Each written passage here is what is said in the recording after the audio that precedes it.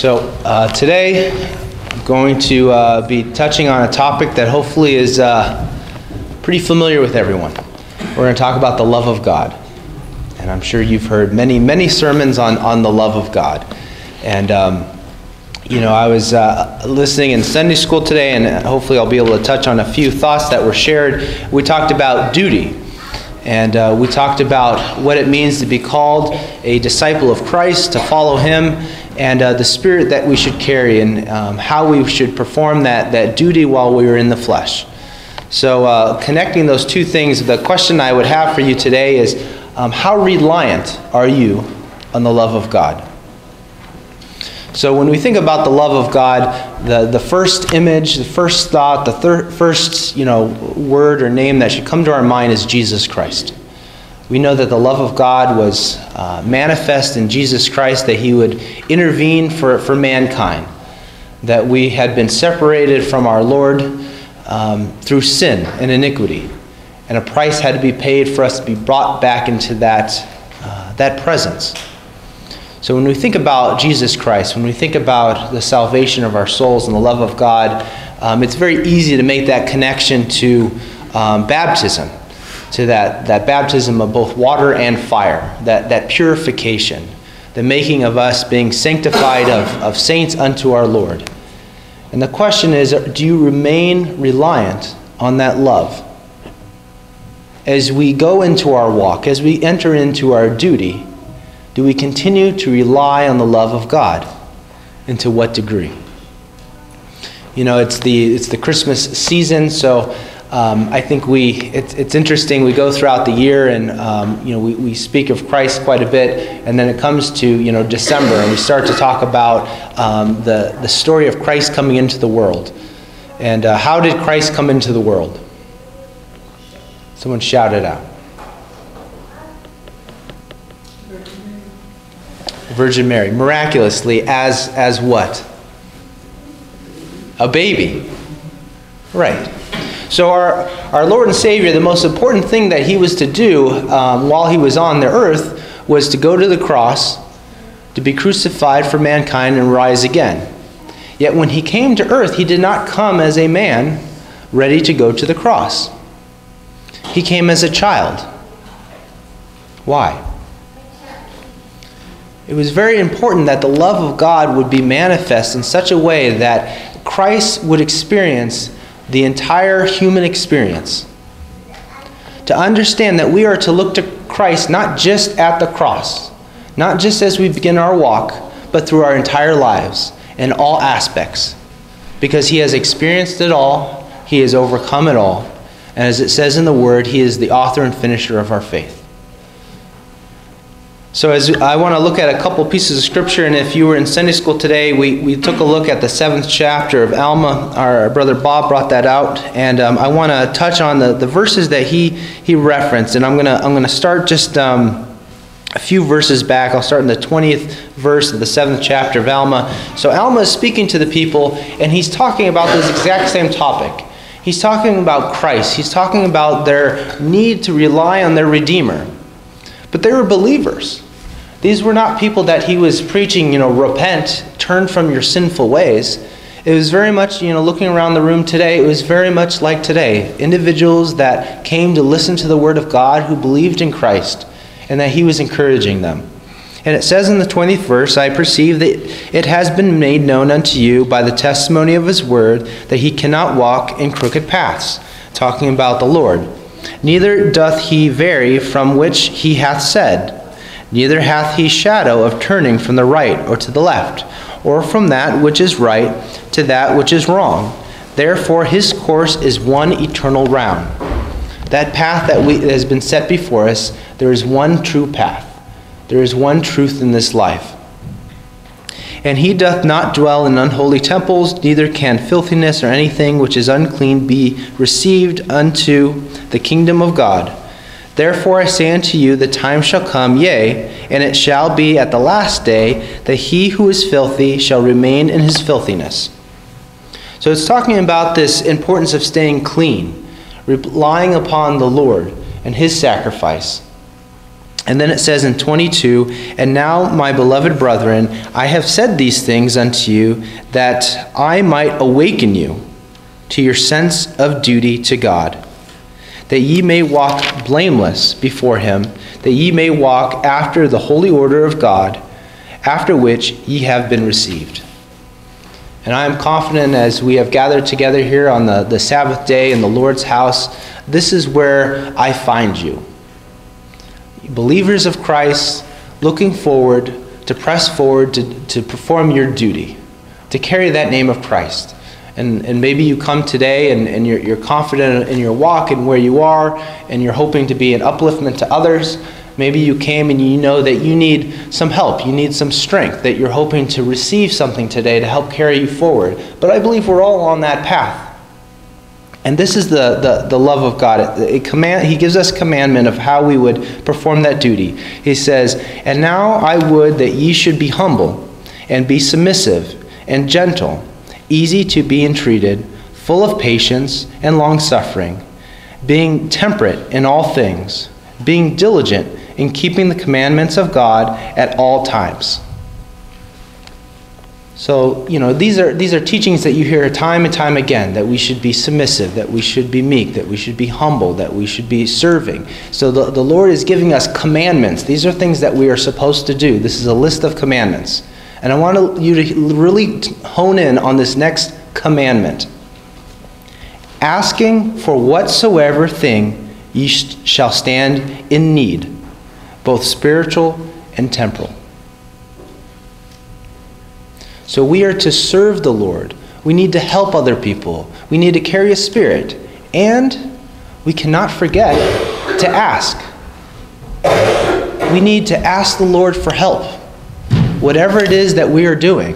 And even as our, our, brother brought forth in Sunday school about talking about our duty, when we're looking to serve God, sometimes we look inward too much. You know, we start to evaluate what we're doing. Well, I, I, I hold this office and with Sunday school or MBA or within the branch, or I'm going to oversee this initiative, or, you know, I've read X amount of times this week, or I've spent so many hours in prayer this week. We start to look too much inward when we think about our duty we need to rely on the Spirit and the love of God in all circumstances. And whatever it is that we are to perform, if we're going to perform it unto the Lord, we need to do it perfectly. Who here is prepared to act perfectly? Christ is ready and he is willing. And he's, he's right there with us in all situations, ready to step in. But he's waiting, waiting that we would ask for his help, both things temporal and spiritual. What a, what, what wonderful love. You know, I, I, I, go to work and I'm, I'm given a list of responsibilities and duties that I need to perform and things that I need to do and checklists. And very rarely do I have a supervisor that says, and oh, by the way, if you have trouble with any of this, I'll do it for you. Just, just give me a call, I'll step in. But that is our Savior. So He's called us to perform a duty, but the thing is, that duty is for our own benefit. He wants us to have better marriages, to be better parents, to be better friends. So, what does He ask us to do? Love unconditionally, forgive others, help those that are in need. And if you have trouble with that, lean on me. Lean on me, because I went to the cross. I took the stripes, I took the nails, I took all the sins of the world that I am available, that I am accessible, that I live this entire life that you can look to, that there is nothing that you have to do alone. I'm going to touch on another piece of scripture. It's the 13th chapter of 1 Corinthians. You've probably heard it a million times. Though I speak with the tongues of uh, men and angels, I have not and, and have not charity, I have become as sounding brass and of tinkling cymbal.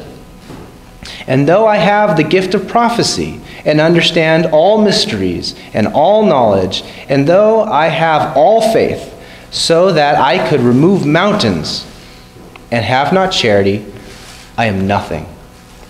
And though I bestow all my goods to feed the poor, and though I give my body to be burned and have not charity, it profiteth me nothing. And you can go on to the eighth verse, it says, Charity never faileth. The love of God. That's what it's talking about here in charity. It's not charity of giving to the poor, it's not charity of loving your companion. It is talking about the love of God. And it comes from one place. It doesn't come from us, it comes from our Redeemer. That it doesn't matter how well we speak, or we could, we could testify to many, we could go door to door handing out pamphlets. What matters most of all is that when we leave this life and our God looks upon us, that His love is within us. That we rely on Him, that we petition Him. He, he says this time and time again Ask of me. If you fall short, pray unto me. If you feel not strong enough, go to my ministry. Have them pray for you if you can't pray for yourself. If, if you can't come unto the ministry, we can anoint a handkerchief and send it to you. By any means, you need to tap into that love of God. Because as it says here, you could speak with the tongues of angels, you could prophesy. It does not matter. In the eighth verse, it continues But whatsoever there be prophecies, they shall fail. Whether there be tongues, they shall cease. Whether there be knowledge, it shall vanish away. Now, that might be a little confusing because we, in the Church of Jesus Christ, we believe in the manifestation of God's Spirit in prophecy and in preaching and in knowledge. So, how is it possible that these things that God would give to us would go away?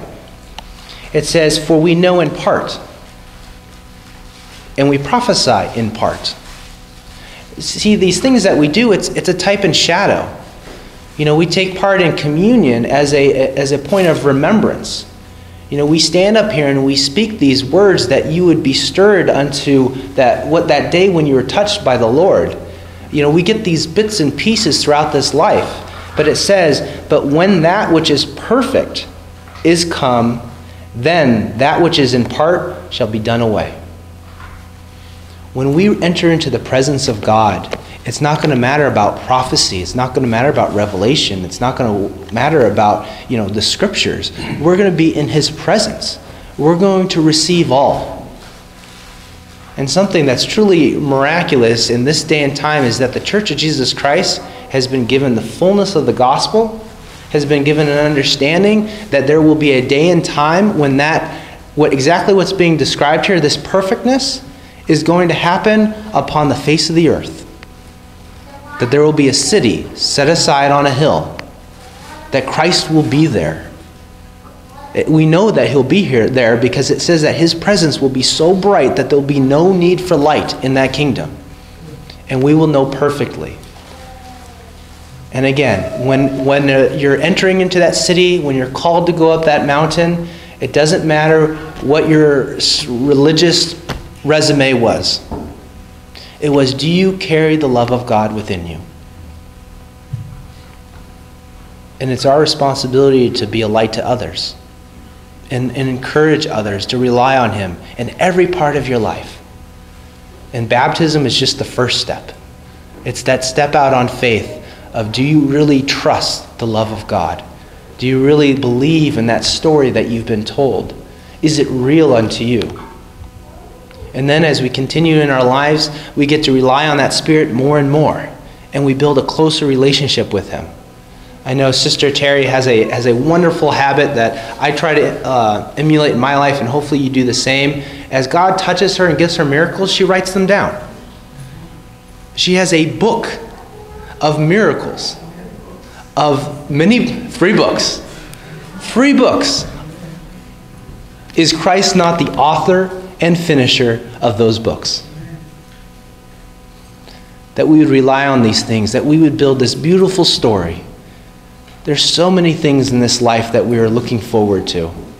it says that um, in the seventh verse of that seventh chapter, it says, For behold, I say unto you, there be many things to come.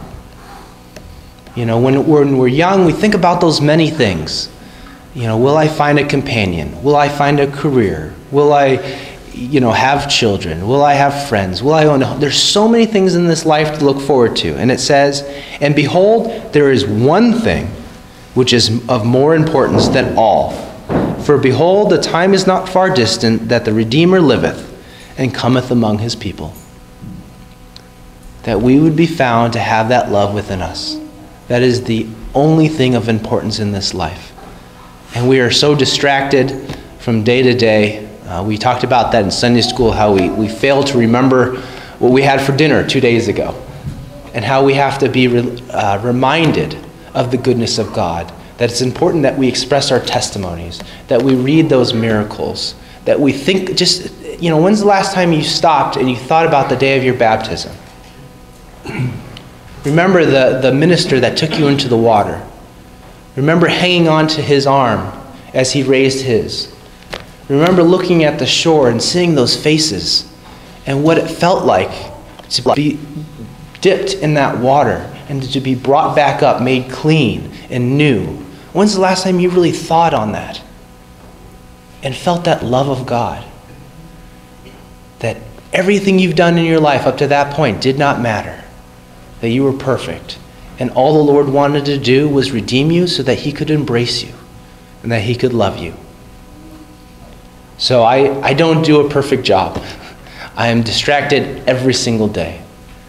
But the message that I felt on my heart for myself and hopefully that you would receive is that we must rely upon Him each and every day. We need to passionately seek out that love in time of meditation, in time of prayer, and, and asking the Lord to work through us because it becomes even more real when we're able to touch the lives of someone else and they feel the love of Christ through us. It emphasizes that perfect love because without charity, without the love of God, we are nothing. May God bless you.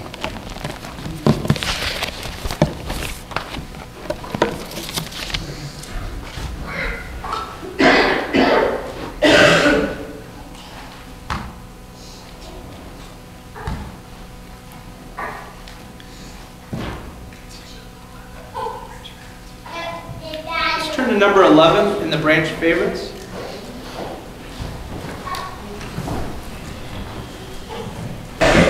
Good morning. Uh, enjoyed the words of my brother, um, and I think they fit along with where some of my thoughts were uh, this morning.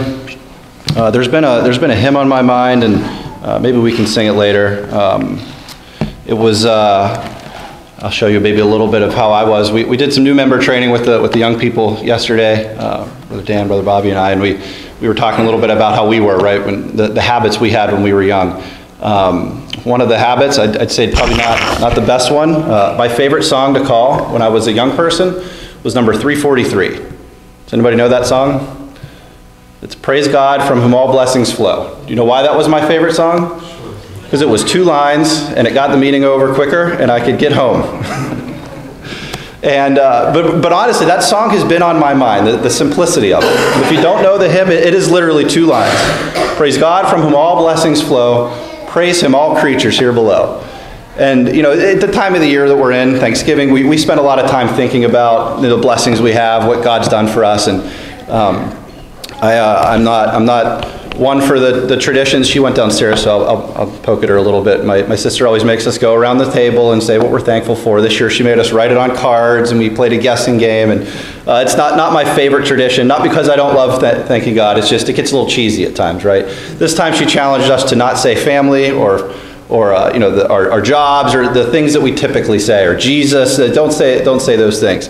Uh, I, I racked my brain. I think I was the last person to fill out my card maybe other than my grandmother, I think it took her a little while to figure out what we were what we were trying to do, and I think she ended up listing off what a half a dozen things, stuff. Um, but what I what I wrote down was God's love. I, I, couldn't think of anything else. I couldn't think of something deeper. I couldn't think of something more meaningful or or not as you know cliche or things like that. But I think that's a good thing because that's what I am most thank, thankful for in my life is God's love. And when I think of the many blessings in our life, and you know, we, we the song says, praise God from whom all blessings flow. And I think that's something that our, our brother was getting at, that, that love that God has towards us, um, it's never ending. And there's a phrase I'll, I'll, get to, but before I get to that, that scripture, there, there's a simple scripture in, in James. I think it's one we've probably all heard before. He says, Every good gift and every perfect gift is from above. So when you think in your life, you think of all the good that you've received. And yes, it can be natural. Maybe it's some of the, some of the gifts you've been given. I, I always, uh, often when we, when we do that around the, the circle, I, I thank God for my, for my job. It seems simple. It's not, uh, maybe not spiritual, but it allows me to provide for my family. It allows my wife to focus on raising our children.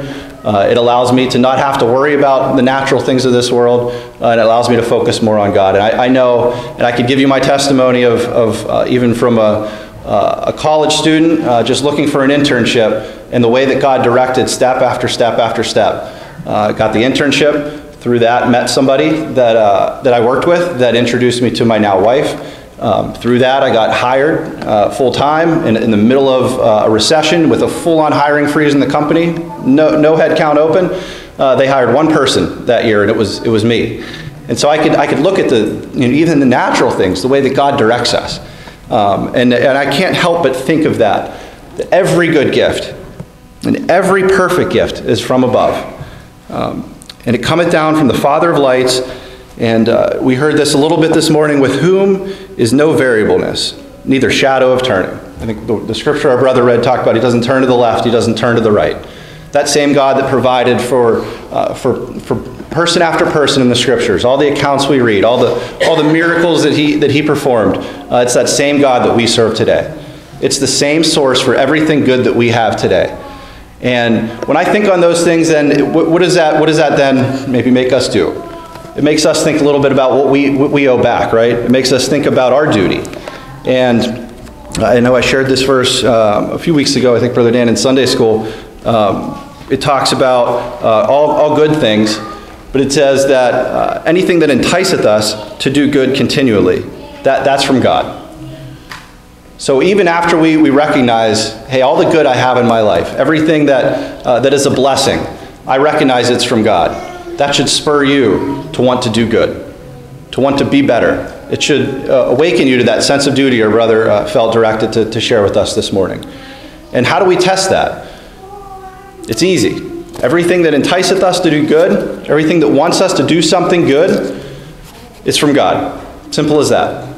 And it goes on to say uh, everything which invite, invite it to do, to do good um, and to love God and to serve Him uh, is, in, is inspired of God. And earlier, before that, the verse before, it says that, um, uh, and that which is evil cometh of the devil, for the devil is an enemy of God and fighteth against him continually. So we know that even in that, we can, we can be in a position where we recognize all the good I have is from God. We can be in a position where I say, Well, I, I feel to do good, and I know that's God directing me. Uh, we know the evil one is always coming at us, right?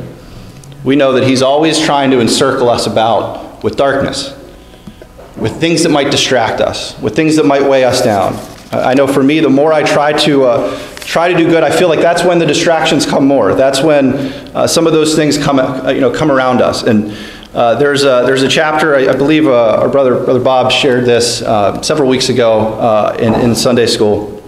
Um, but it's in Alma, chapter 26. Uh, and in this, in this chapter, if you, if you don't know, uh, this is after um, they were laboring amongst the Lamanites and they had some success. And, and Ammon says, he says, what, what great blessings has he bestowed upon us? Can you tell? He says, Can you tell? Do you know what the blessings that God's done for us? And he goes on to talk about the thousands of souls that they converted. And I know for me, that feels overwhelming. I think it was even mentioned at my ordination. There are thousands of souls. I don't feel equipped to do that. I don't feel equipped to address, uh, I don't even feel necessarily worthy to address the congregation here, the, the couple dozen that are here. When I think of, of thousands of souls, uh, that, that is overwhelming to me. I'm not, I'm not good enough for that. Uh, but it goes on to say, and, and this is where I think we get that strength. And it mentions that thousands of souls a few times. But this is my, when I think of the love of God, this is maybe one of my favorite phrases in the scripture that talks about it. Um, it says, again, referring to the, to the Lamanites, their brethren, it says they were encircled about with everlasting darkness and destruction. When I think of that phrase, does that not make you think of the world that we're in today? Does that not make you think of those out there that are around us? Maybe good people, maybe deep down good people, but it says they're encircled about by, by darkness and destruction.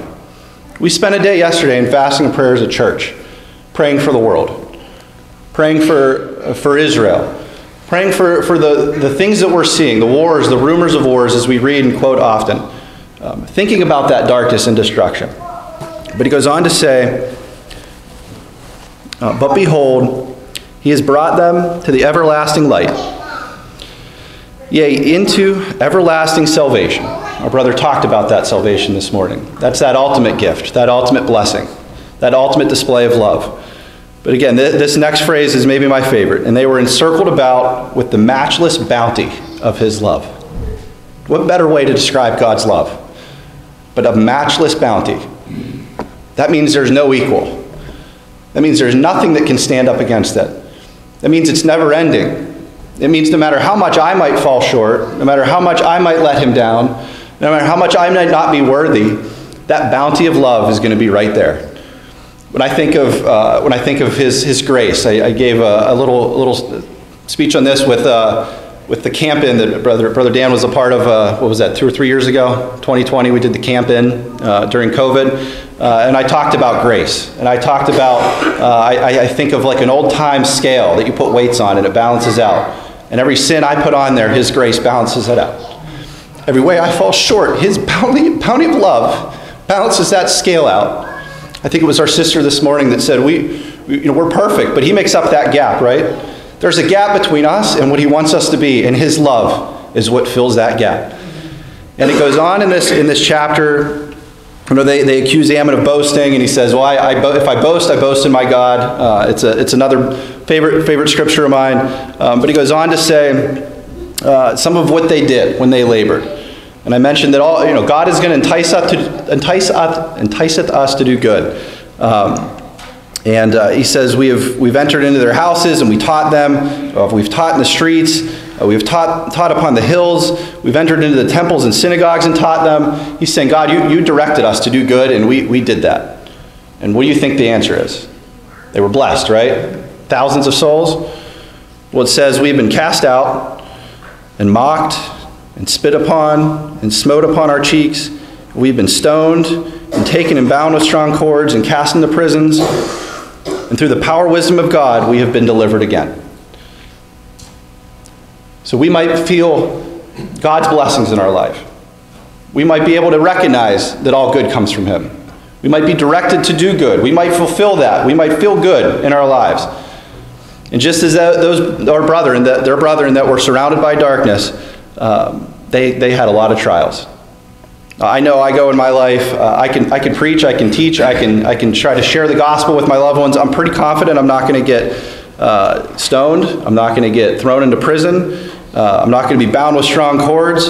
Um, I, have not, not been spit upon yet. That might feel a little more realistic, but uh, there's things in here that we, we're not going to experience.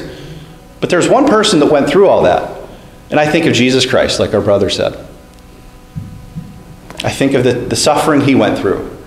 You mentioned the stripes, you mentioned the nails, you mentioned the suffering that he went through. And I love this, this, this verse. Um, he, uh, Ammon says, And we suffered all manner of afflictions and all this, that perhaps we might, by the means of saving some soul. What's missing in that? There's no S at the end of that. He didn't say by the means that we might save thousands. He didn't say, I went all through this because I was promised we were going to save the world. He said, We went through this with the expectation or the hope that we might save some soul. And it says, We supposed our joy would be full if perhaps we would be the means of saving some.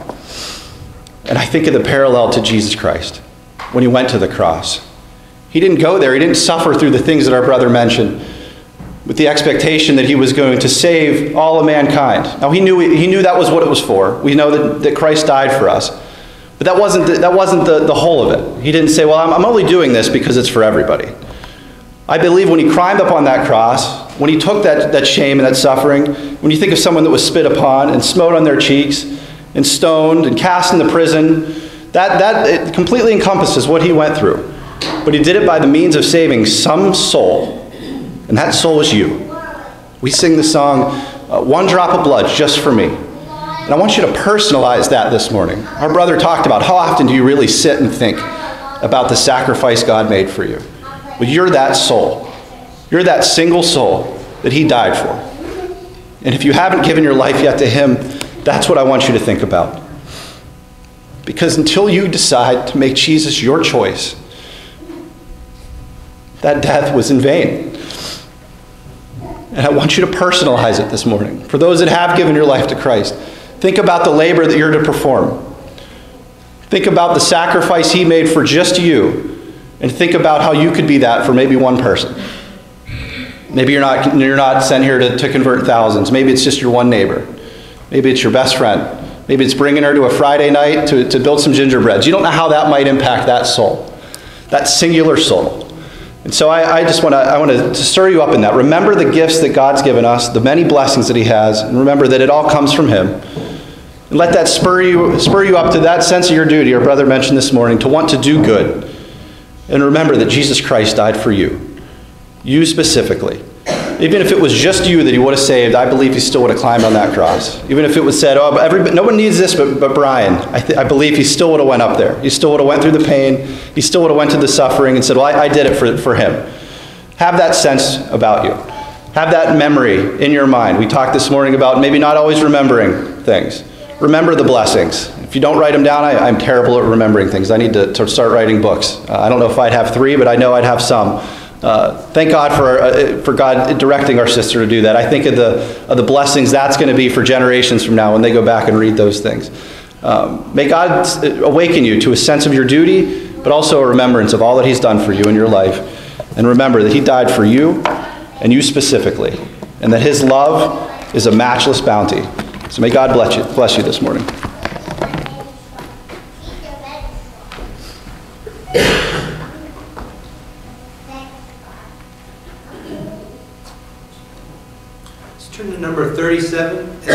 Let's turn to number 37 branch favorites.